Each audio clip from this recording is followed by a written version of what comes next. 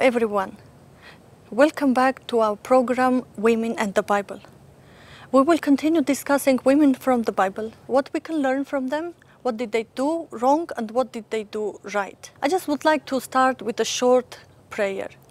Let God bless us, let He opens every heart and He talks to us and He changes our lives and blesses us and you, everyone that is listening this now, let Him bless you and talk to you and open His His revelations to you. In Jesus' name, Amen. So we will start now with Ruth and uh, also we will go parallel with Naomi because they are related to each other and uh, they are going beside each other. We can't separate them. So we will start with Ruth chapter 1, verse 1. In the days when the judges ruled, there was a famine in the land. So a man from Bethlehem in Judah, together with his wife and two sons, went to live for a while in a country of Moab. The man's name was Elimelech, his wife's name was Naomi, and the names of his two sons were Mahlon and Chilion. They were Ephrathites from Bethlehem, Judah, and they went to Moab and lived there. It says they, it was a famine in the land, and they, they themselves they decided to go, and now Naomi was inside. If there is a famine in your country, in your land, in your family, don't leave it unless you ask God. Maybe your husband will want to go, your family will agree to go. Help them to seek God, to seek His word. Help your husband, your family to stay in the God's will because His will is perfect. You can't really add on it to make it better or deduct from it to make it better. So here they went to Moab, and Moab was ungodly country. Don't leave your godly things and go to ungodly things just because you are in a trouble, in a stress, or in a famine, and there's no money. Maybe you are hungry, there's no job, there is so much stress and burden. Don't leave godly stuff and go to ungodly stuff because you will lose whatever you have. So we will see now. Now Elimelech, Naomi's husband, died, and she was left with her two sons. They married Moabite women, one named Orpah and the other Ruth. After they had lived there about 10 years, both Mahlon and Chilion also died, and Naomi was left without her two sons and her husband. We see here she lost whatever she had. If you leave godly things to go to ungodly places or things or deeds or behavior, just because you are in a trouble, you will lose more. Whatever she had, she had the husband. At least she had the family. She lost it. Be careful be before you make any decision. Please ask God before you make any decision whether to move or to change your job even, to change anything in your life. In Jesus' name. So she lost her husband, she lost her two sons, but at least she had two daughters-in-law. And uh, let's look what they are doing. Naomi and Ruth returned to Bethlehem. When Naomi heard in Moab that the Lord had come to the aid of his people by providing food for them, she and her daughters-in-law prepared to return home from there. With her two daughters-in-law, she left the place where she had been living and set out on the road that would take them back to the land of Judah. At least when she heard that they are, going, they are doing good in Judah, she left her ungodly country and she decided to go.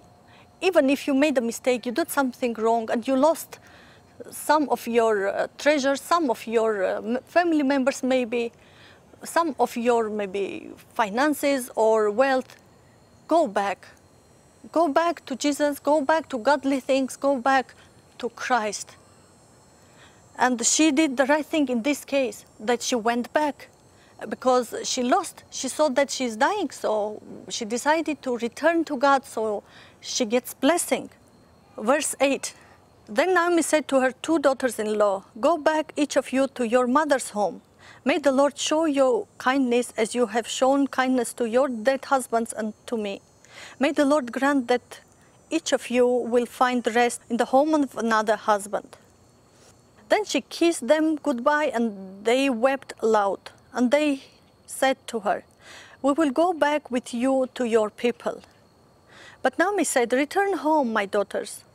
Why would you come with me? And later on, she is saying, Don't come with me. She urged them to stay because she wanted them to be blessed. But she didn't know that God has another purpose, another plan. Before you even talk to anyone, make a decision to urge someone to do something, see what God wants you to do. She wanted them to be blessed, but blessing was in the Israel, in Judah. Blessing is with God. Never ask, don't tell people, don't come to church, don't come to Jesus. You will. Uh, it is hard. Don't tell them. It is. It is a blessing. And later she's saying, I will not be able to give you more sons, so you marry. Because it was a rule, it was a custom in Judah that whoever dies, his wife can be married to dead persons. But in this case, he didn't have more brothers. They were only two, two, two brothers, both of them, they died. So at verse 14, at this they wept aloud again then Orpah kissed her mother-in-law goodbye and Ruth clung to her. Look, said Naomi, your sister-in-law is going back to her people and her gods. Go back with her. But Ruth replied, Don't urge me to leave you or to turn back from you. Where you go, I will go, and where you stay, I will stay. Your people will be my people, and your God, my God. Where you die, I will die, and there I will be buried. May the Lord deal with me, be it ever so severely, if even death separates you and me. Do you see how Ruth understood that her blessing is to stay with her mother in law? It's not the, the easiest decision, but she saw that God is with her. She saw that God will work with her. God put this in her mind. She was a Moabite. In, in Judah, they would uh, start persecuting her. They wouldn't accept her because she was a Moabite. They would come and say, How come you came to us? You are a foreigner. You don't know customs. But she said, No. To her mother in law, Where you go, I go. Because your God, I want to be my God.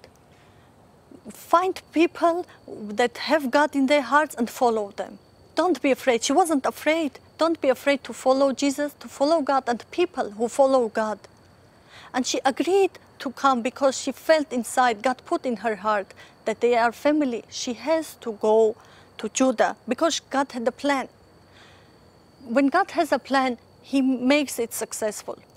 If you feel you are in God's plan, don't be afraid.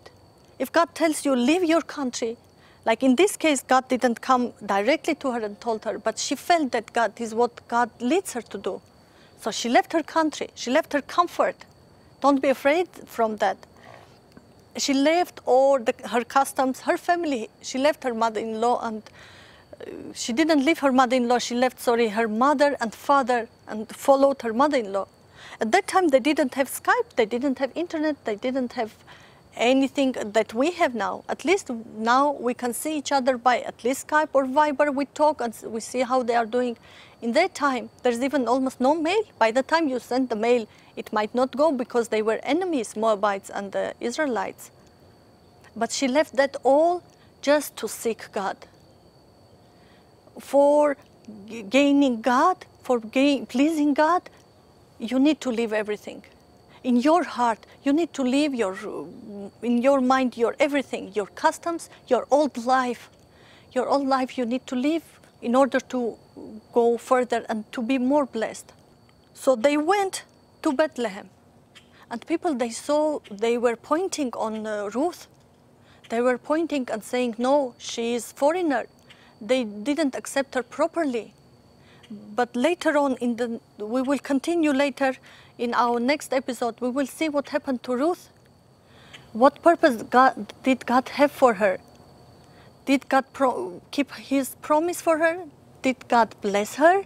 Or she stayed widow and weeping and uh, crying and childless? God bless you and see you in the next episode.